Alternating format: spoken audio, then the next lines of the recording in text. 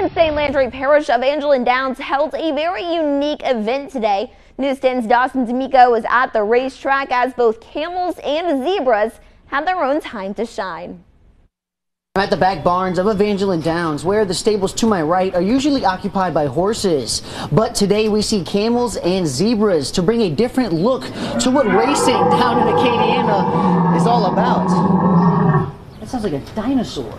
Right, and so it's been something that's been out that people have asked about that that we've looked at for a number of years, and really it's one of those things that we want to take an opportunity this year to come back and bring the new racing season back in a big way. But we're just getting started with the brand new meet and we want to do it in a big way. Mm-hmm. So, what bigger than having some exotic animals come out and entertain people? Evangeline Downs, Director of Operations Anthony Bro, says the event had a huge turnout and was able to support everyone involved. For us to have this full paddock and apron area before 5 o'clock is huge, right? It's it's not only huge for Evangeline Downs, it's huge for our food vendors that are here, for the horsemen that are going to run tonight, and it's huge for St. Landry Parish and the city of Opelousas. For those that are curious like myself, the average top speed of a zebra is believed to be up to 35 to 43 miles per hour.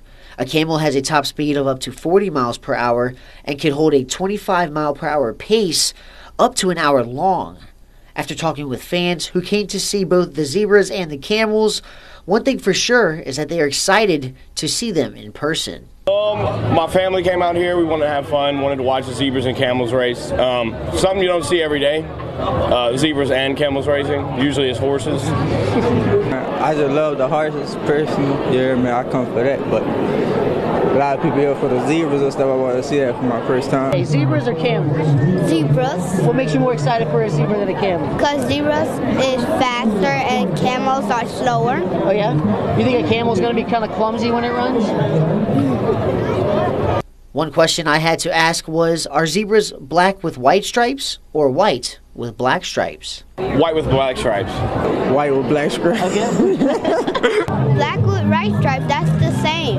Is it the same? Mm-hmm. All right, well then let's go with that. In Opelousas, Dawson D'Amico, KLFY, News 10 those those camels definitely looked a little clumsy. But although exotic animal, animal races like this are not here to stay at Evangeline Downs, Anthony Bro tells News 10 they do plan to put on more events like this in the future.